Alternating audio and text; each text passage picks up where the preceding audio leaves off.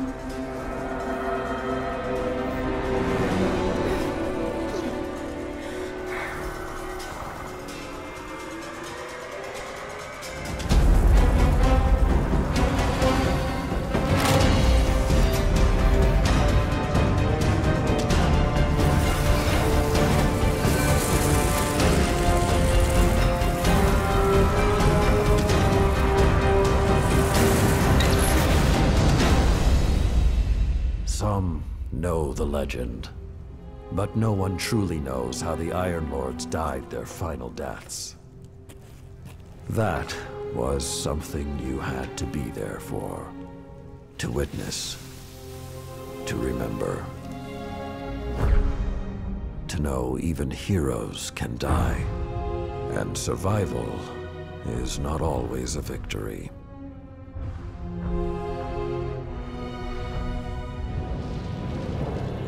Now I am the lone sentry, and my watch is eternal.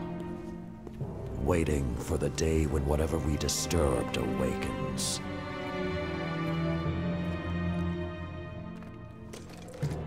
The Iron Lords are gone, but our fight is far from over.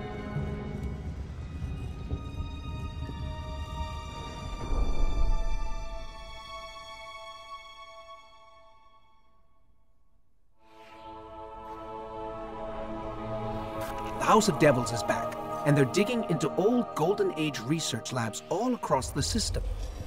This isn't a simple smash and grab. They're on a mission. At first, the Vanguard wasn't particularly concerned. At least, not until the Devils decided to move back into the Cosmodrome. Now the Devils are shifting a massive amount of resources to an area nearby that's been dark for centuries. Normally, I'd say it's just another day. Except, what's really got everyone talking is that Lord Saladin has left his post at the Iron Banner to take charge of the situation personally.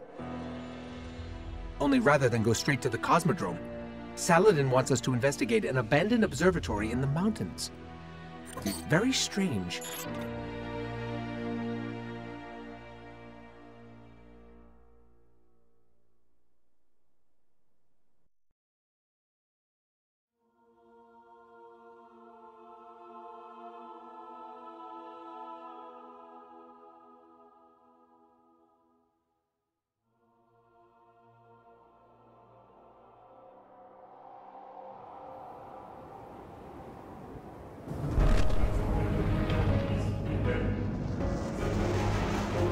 A group of Fallen has captured Felwinter Peak. My team and I are en route, but we won't get there in time.